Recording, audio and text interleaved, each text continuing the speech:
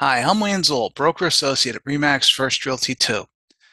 When a property is listed in as is condition, it typically means that the seller is not inclined to undertake most, if not all, repairs.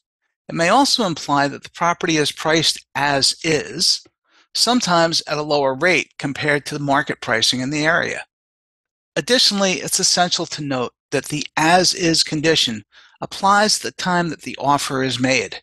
If any changes occur to the property's condition from the offer date to the closing date, altering its as is status, it becomes the responsibility of the seller to restore it to its original as is condition at their expense.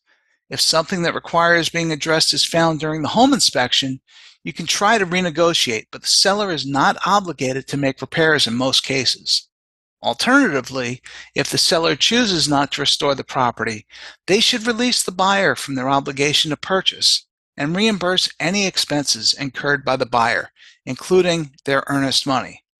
This ensures that both parties have a clear understanding of the property's condition and their respective responsibilities during the transaction. Feel free to contact me with questions. Thanks for watching.